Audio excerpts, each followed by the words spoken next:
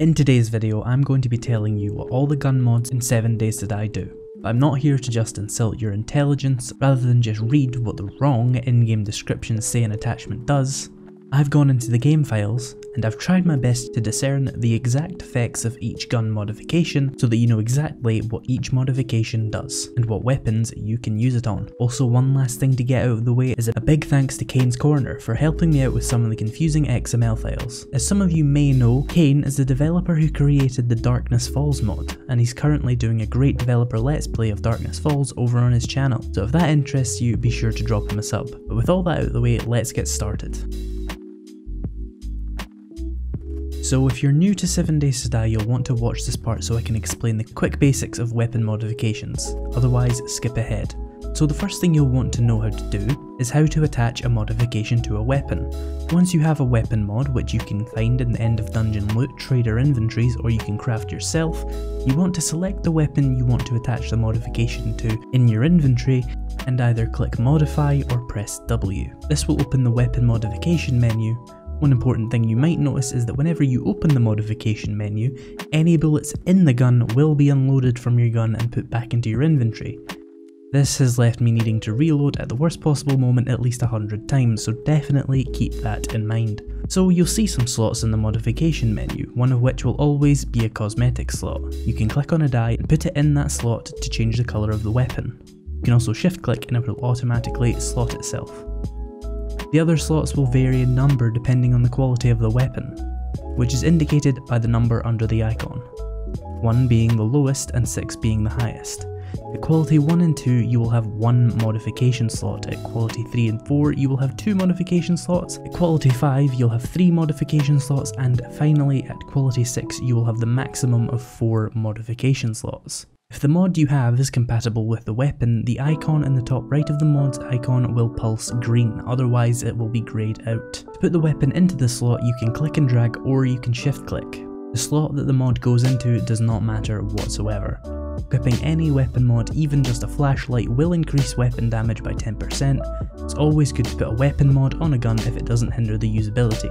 With the basics out of the way, let's get in depth with gun mods and what they do exactly. One thing I want to clear up really quickly before we begin is that not all weapon mods are compatible with each other. So in this section I'm going to group mods, unless I specify otherwise assume the mods in a given category are incompatible. The first category is barrel modifications. The first barrel mod is the barrel extender. The barrel extender increases the effective range of your gun. Specifically, it increases the distance before your weapon damage starts to fall off by 20% and increases the maximum range by 20%. It also improves a statistic called weapon handling. Weapon handling is how tight the crosshair becomes when you aim down sight. It improves it by 5%, so when you aim down sight the spread will be 5% tighter. However, it also increases the spread of hipfire accuracy by 10%. This means that the weapon will have a 10% larger spread when not aiming down sight. And it also increases the severity of vertical recoil by 10% and horizontal recoil by 5%. The barrel extender works on all firearms except the blunderbuss. Next up we have the muzzle brake. The muzzle brake decreases the severity of vertical recoil by 25% and horizontal recoil by 15%. It also improves the weapon handling by 8%. Once again, that's how tight the crosshair is when aiming down sight. The muzzle brake is compatible with all guns except shotguns. Sneaking up on us next, we have the suppressor, or the silencer. The suppressor reduces the noise you generate by a percentage. I was unable to find the exact percentage, but it means that weapons are generally quieter, like pistols, are much better to attach a suppressor to because they will be quiet, Whereas the Desert Vulture, for example, will never become a viable stealth weapon because it's just too loud to begin with. The suppressor also reduces damage by 15%, so once again much better on generally weaker weapons. The damage reduction however can be removed by collecting all 7 of the Urban Combat perk books. It also reduces the damage fall off range by 20% and reduces the maximum range by 25%, so the suppressor is a poor choice for a sniper rifle. The suppressor can be equipped on any gun except the Magnum, the blunderbuss, and the rocket launcher.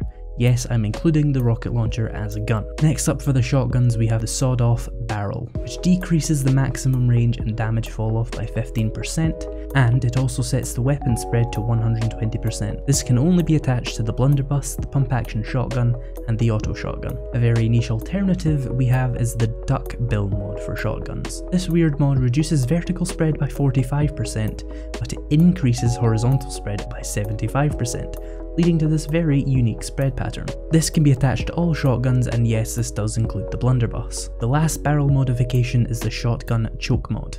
This reduces spread by 40% and is equipable on all shotguns. The next category is the light mods. The first light mod is the laser sight mod. This improves hipfire and aim down sight spread by 20%. It also adds a red laser that comes out of the gun. The laser can be toggled by pressing F. Interestingly, as of Alpha 19.4, it doesn't seem to matter if the laser is actually turned on, it will simply always give you the accuracy bonus if the weapon mod is attached to a weapon. So if you don't like the red laser, you can turn it off without any downside. The laser sight can be attached to every gun.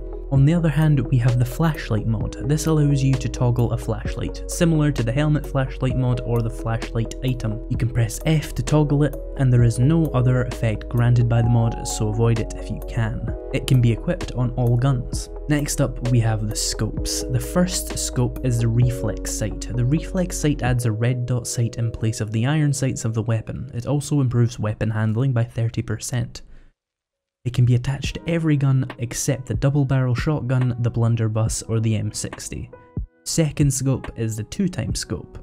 This scope tightens spread by 10% or on weapons affected by the Deadeye perk, it will be reduced by 20%. It will also increase the damage of scoped Deadeye governed weapons by 10% if you have Volume 1 of the Sniper Perk Book. This cannot be equipped on the M60, the blunderbuss, the double barrel shotgun, or the auto shotgun. The next scope is the 4 times scope. This tightens spread by 18% on normal weapons or 36% on Deadeye weapons. Once again, it will increase the damage of scoped Deadeye governed weapons by 10% if you have volume 1 of the Sniper Perk book.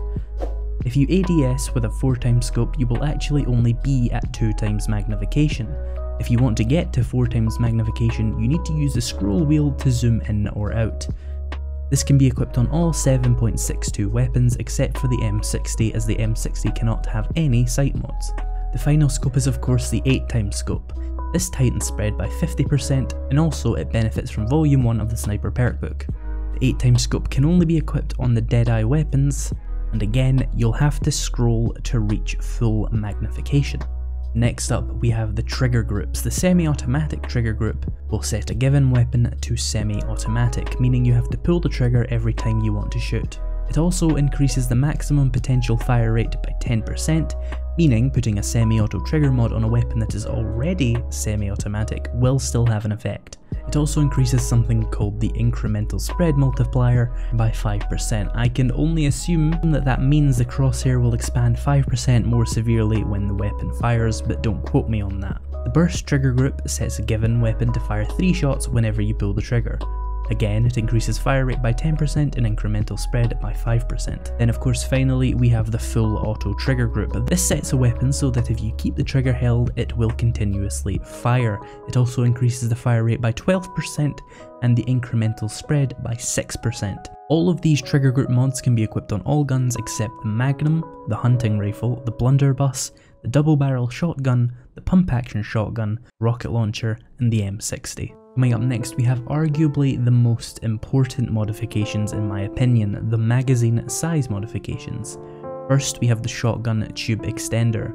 Now in theory, this will increase ammo capacity by 37.5%. Given that it can only be added to one weapon, the actual practical effect is to add 3 extra shots of capacity to the pump action shotgun, which as of Alpha 19 is the only gun compatible with the tube extender. Next we have a more versatile mod, the magazine extender. This increases ammo capacity by 50%, I didn't think it was that high either. It can be equipped on any gun with a magazine, which is most guns excluding the Magnum, the hunting rifle, the pump action shotgun, the double barrel shotgun, the blunderbuss and the rocket launcher. Kicking up a notch, we have the drum magazine. This increases ammo capacity by a massive 100%, doubling your magazine size. It also slows reload by 25%, but there are a million ways to speed that up, one being the bandolier mod for the chest or leg armour. The drum mag is less versatile as it can only be equipped on the SMG, AK-47, tactical rifle, M60 and auto shotgun. This last category of mods I'm calling general mods as they don't conflict with any other mods either outside this category or within. First, we have the bipod. This will increase the tightening of weapon spread by 8% on normal weapons and 17% on Deadeye weapons. It will also increase walking and hipfire spread by 5%, making it a bad choice for hipfire weapons. It decreases weapon handling on most weapons by 5%, making it a bad choice for most weapons except for the Deadeye weapons, as on Deadeye weapons it actually increases handling by 35%, which in practice gives it a 30% better weapon handling because of the 35% minus the 5% for all weapons. This can be attached to all 7.62 weapons. Next we have the foregrip. The foregrip decreases spread by 15% when walking, hip firing or crouching. It increases weapon handling by 5% and reduces recoil by 50%. This can be attached to any two-handed weapon and excludes pistols and the rocket launcher. Next we have the retracting stock. This simply reduces hip fire spread by 15%. This can be attached to all snipers, shotguns, the AK-47 and the tactical rifle. Not to forget we also have the Rad Remover. This mod does as its description says by stopping the health regeneration of irradiated enemies for 90 seconds. This can be equipped on all guns. And then there is the Hunter mod. This increases damage to players and animals by 100%, must have for PvP. Again, works on all guns. Finally, we have the Cripple 'em mod. This gives a 20% chance to cripple an enemy's leg for 5 minutes. On players, this reduces movement speed by 30%. Against zombies, I don't really know because zombies' movement speed in 7 Days to Die is based on the animation the zombie has, interpolating it across the ground and I am not an animator, so I have no idea what the effect does to the animation, but in practice it does seem to slow down the zombie, which works for me. So this video was already way too long and I undoubtedly got something very wrong because this was a really challenging video to make, so be sure to check the comments for someone correcting me on something. If you enjoyed the video, leave a like, and if you want to see more in-depth guides like this for 7 Days to Die, then hit that subscribe button, but with that, thank you so much for watching, and I'll see you in the next video.